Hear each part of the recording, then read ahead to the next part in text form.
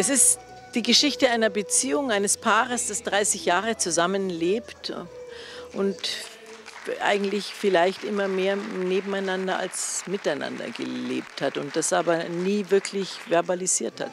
Wie lange brauchst du denn noch? Es wird Zeit. Ja, ich komme ja schon. Jeder hat das so in sich hineingefressen und es gibt einen äußeren Anlass, warum es plötzlich langsam dekouvriert wird, dass eigentlich die Liebe so, wie sie mal war, nicht mehr da ist. Oh mein Gott, das darf ja nicht wahr sein. Es ist ein Stück über den Mut der Wahrheit in einer Beziehung. Und wie man damit umgeht, sieht man dann im Stück. Ich finde es jedenfalls wunderbar, wenn man seine Träume verwirklichen kann. Zumindest sollte man das respektieren. Naja, ich habe mal davon geträumt, Bäcker zu werden. Ja, es ist nie zu spät. Hm, Ich sehe dich schon in unserer kleinen Bäckerei hinten den Teig kneten.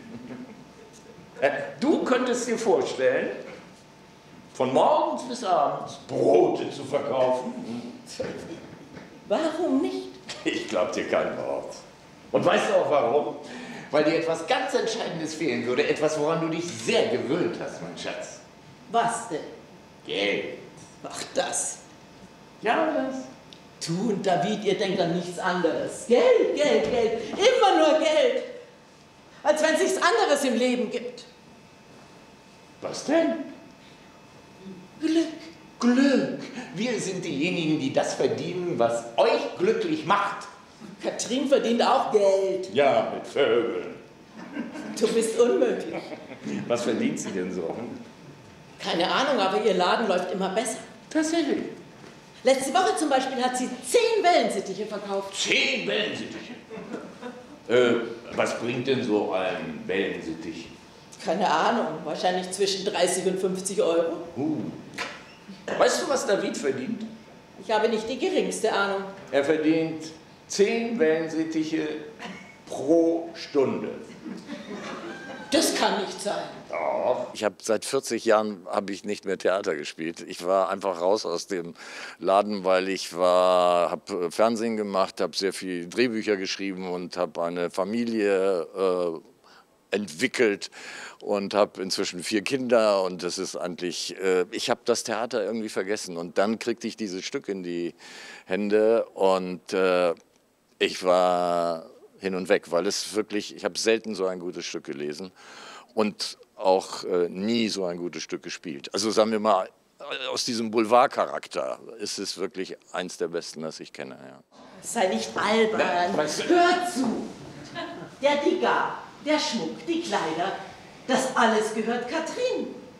Alles, was verschwunden ist, gehört ihr. Wir machen doch keine Bestandsaufnahme. Was gehört Katrin, was gehört David? Äh, Ich meine, das meiste hat sowieso er gekauft. Du begreifst nicht. Was ist sonst noch verschwunden? Na, Keine Ahnung, er hat mir doch keine Liste von den verschwundenen Gegenständen gegeben. Ich bin doch nicht sein Versicherungsmakler. sag mal, bist du wirklich so schwer vom Begriff? Ich schwer vom Begriff. Jetzt wird's noch schöner. Alles, was ich dir sagen will, ist, dass Katrin auch verschwunden ist. Äh, Du meinst, sie ist auch geklaut worden? Wer will denn die schon haben? Hältst du mich für blöd oder was? Also wenn hier jemand blöd ist, dann du. Du verpasst mir lieber eine Demenz, als dich der Realität zu stellen. Schlaganfall, Schlaganfall habe ich gesagt. Egal, schau. Katrin ist nicht hier, sie ist nicht zu Hause, sie geht nicht an ihr Handy. All ihre Sachen sind bei dem höchst unwahrscheinlichen Einbruch wie von Zauberhand verschwunden. Na, klingelt's? Das springt einem doch förmlich in die Augen. Was? Katrin hat David verlassen. Katrin hat David verlassen? Katrin hat David verlassen.